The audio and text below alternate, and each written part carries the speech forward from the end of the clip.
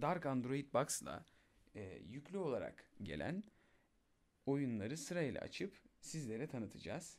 Bu sırada da Dark Android Box'ın 75 tuşlu Air Mouse özellikli klavyesini yakın çekim yapacağız. Oyunlar sırasında mouse imlecimizi hareket ettirirken Air Mouse'u nasıl kullandığımızı da yakından görebileceksiniz.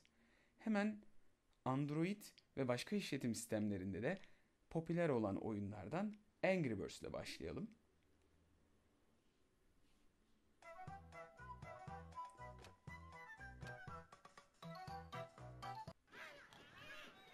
Angry Birds oyununun konusunu bilmeyenler için hatırlatırsak kızgın olan kuşlarımızı sapan vasıtasıyla düşmanlarına doğru yönlendiriyoruz.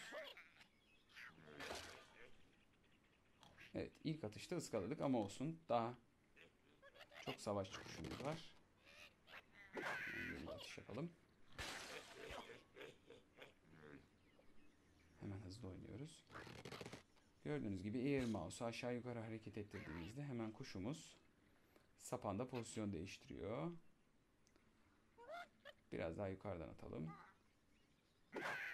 Tuşu bıraktığımızda da kuşumuzu ateşlemiş oluyoruz.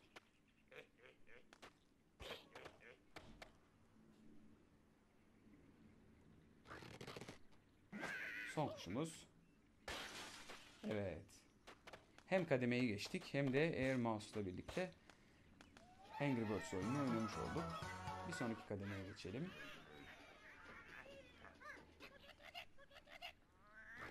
Gördüğünüz gibi aşağı yukarı fonksiyonlarını aşağı yukarı bilek hareketiyle yapıyoruz.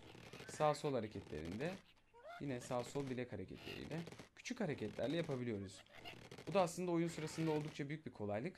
Salonda koltukta otururken bile küçük bilek hareketleriyle çok rahat karakterlerinizi yönlendirebiliyorsunuz. Hemen kuşumuzu atalım. Ups.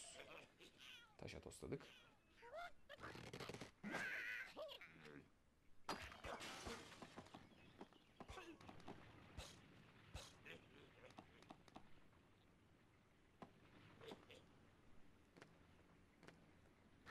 Kuşumuzu direkt atalım. Son kuşumuz. Hadi. Oh. Haklarımızı kaybettik. Sağ tuşa basıp menüye gelelim ve Angry Birds'ten çıkalım.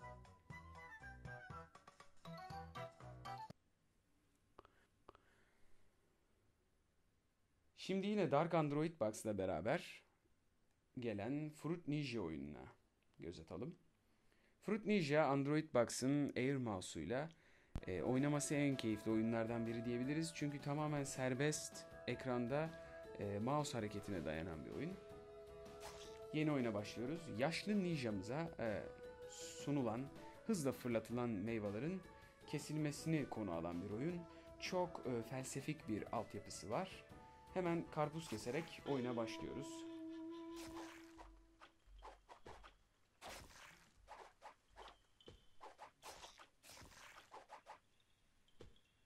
Tek harekette birden çok meyve kestiğimizde kombolardan ekstra puan alıyoruz. Bombalara değmememiz gerekiyor. Değdiğimiz takdirde bir seferde ölüyoruz.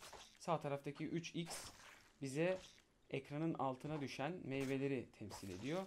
3 tane meyveyi eğer kesemeden kaybedersek bombaya değmeden gördüğünüz gibi kestik.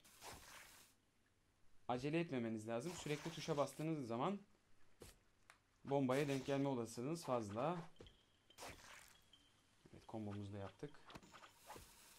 Bomba. Bomba daha.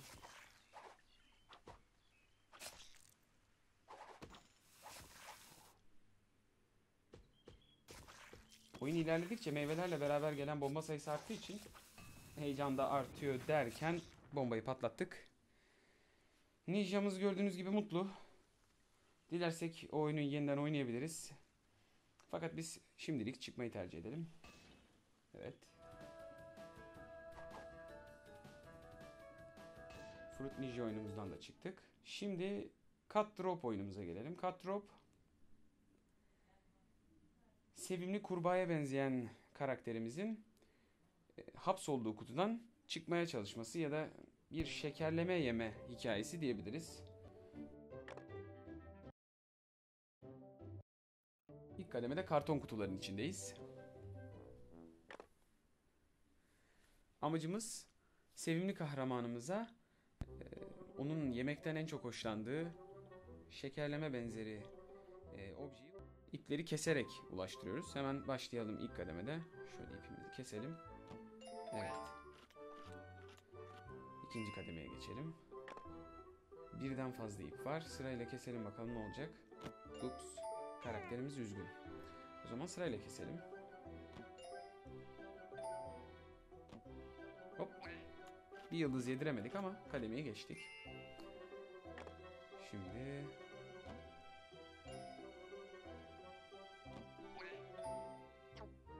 Evet, bu kademeyi de geçtik.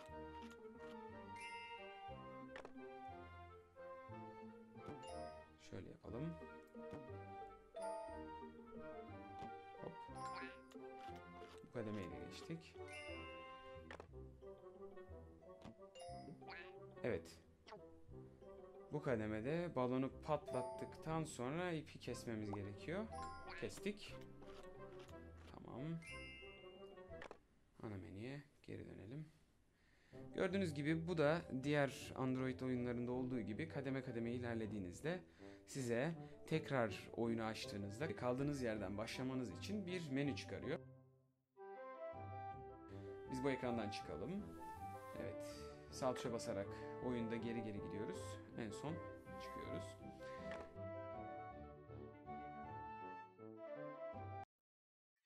Dark Android Box'ta oyun oynama konusunda beraberinde gelen 3 adet oyunla sınırlı değilsiniz. Android Market özelliğine daha ileride detaylı olarak yer vereceğiz ama burada kısaca oyun kurulumunu anlatalım. Android Market'e girdiğinizde uygulamalar apps kısmı ve games kısmı yer alıyor. Oyun kısmına tıkladığımızda çeşitli kategoriler var. Biz hemen arcade kategorisine girelim. Tip of Basketball oyunumuz var. Hemen oyunun detaylarına bakıyoruz. Görselleri var. Install dediğimizde oyunun cihazda yapmak istediği modifikasyonlar var. Bunları okeylediğimizde şu anda oyun taskbarımızda install oluyor. Bu yükleme işlemi bittikten sonra oyunu oynayabiliriz.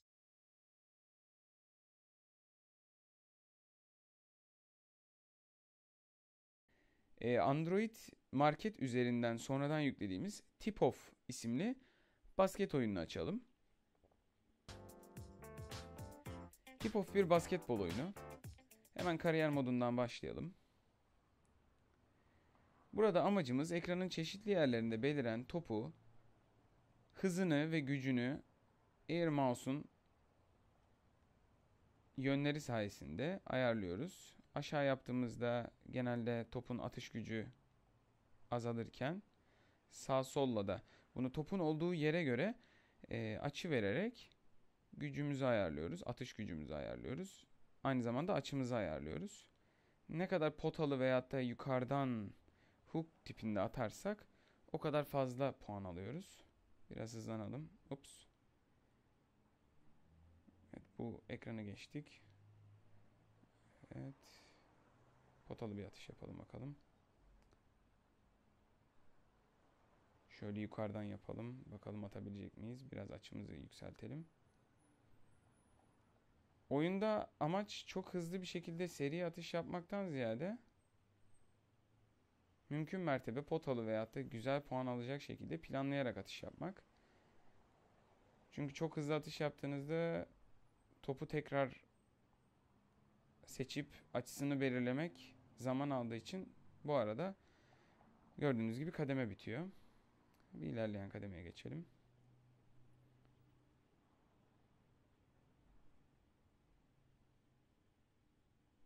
Ups çok hızlı attık.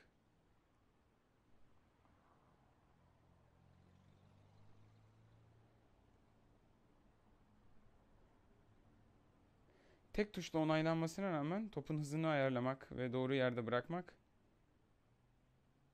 füze atışı yaptık evet. Bunlar ekstra puan sağlıyor arkadaşlar. Çok uzaktan veya çok e, orijinal atışlar yaptığımızda. Biraz daha yukarı. Çemberden 2 puan aldık. Bu kademeyi de geçelim. Gördüğünüz gibi fazla olan gücü, sola doğru fazla olan gücü sağa doğru çekiştirerek azaltıyorum.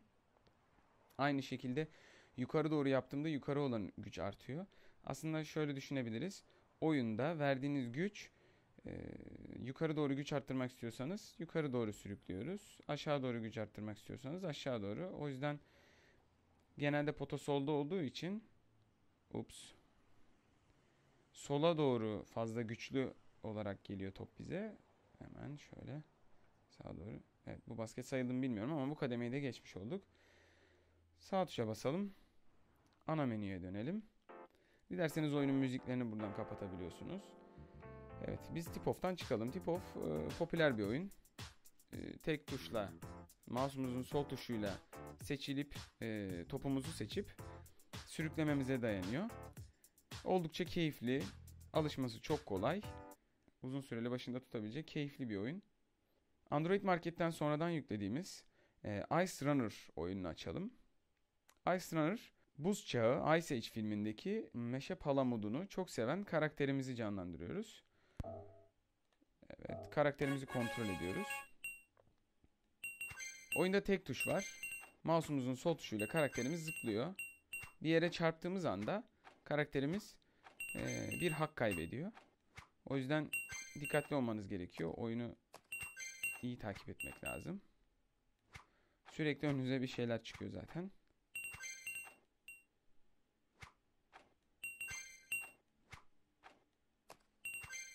Tabi grafiksel bazı olaylar da var. Örneğin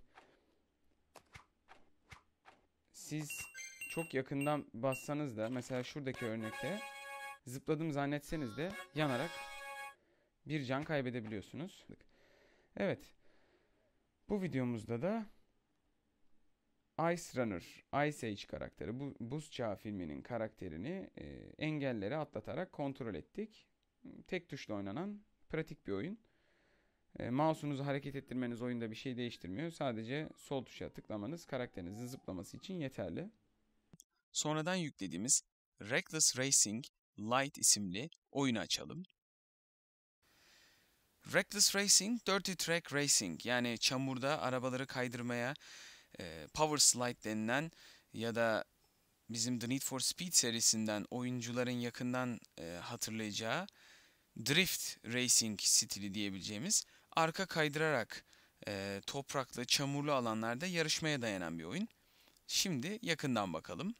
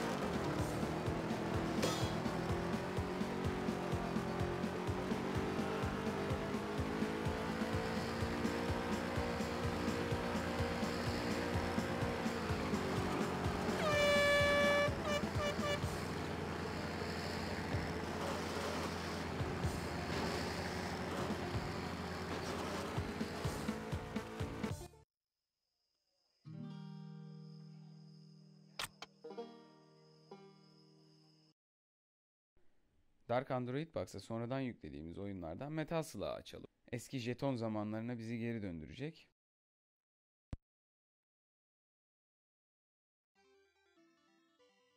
Başlangıç demosu çizgi film edasında olduğu için bir miktar izleyelim.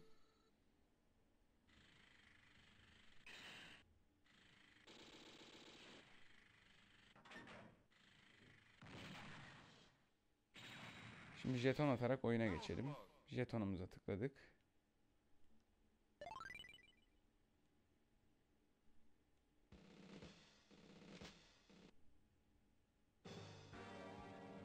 Metal Slug emülasyon tarzında e, Android'e uyarlanmış bir oyun olduğu için mouse'la ekrandaki tuşlara tıklayarak oynamak e, biraz zor.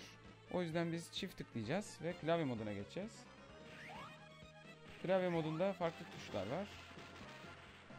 Klavyemizin yön okları ile ilerliyoruz. I tuşuyla tabancamızla ateş ediyoruz. Tabanca veya makinalı o an varsa.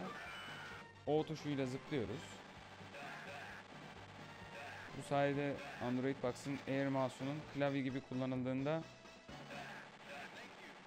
oyunlarda nasıl işlev gördüğünü de sergilemiş olacağız sizlere.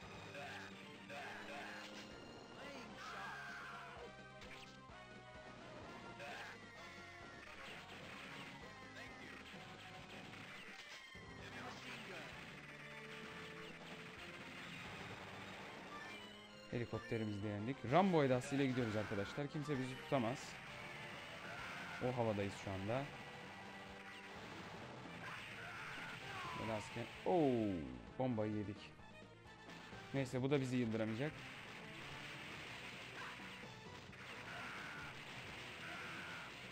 Evet, sığınaktan çıkan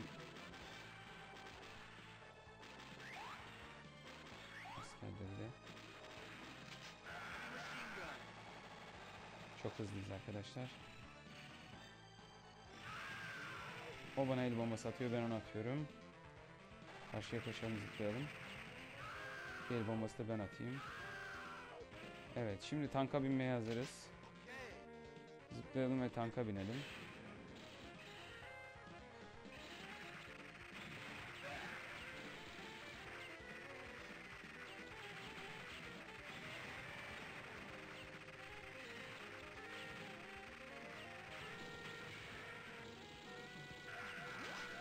Tankımıza benzin alarak gidiyoruz. Evet.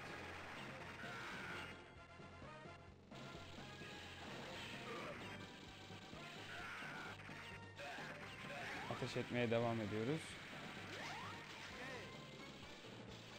Bu arada esir alınan arkadaşları da serbest bırakıyoruz. Onlar da bize gördüğünüz gibi enteresan bir şekilde hediye çıkarıyorlar.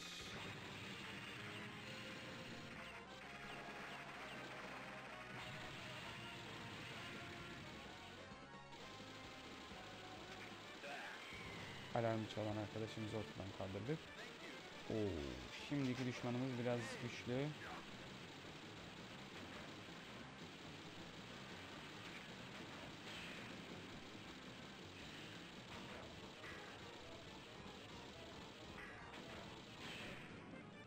Evet şu anda cihazın içinden fırladık. El bombalarımızın hepsini birden kullanalım arkadaşımız.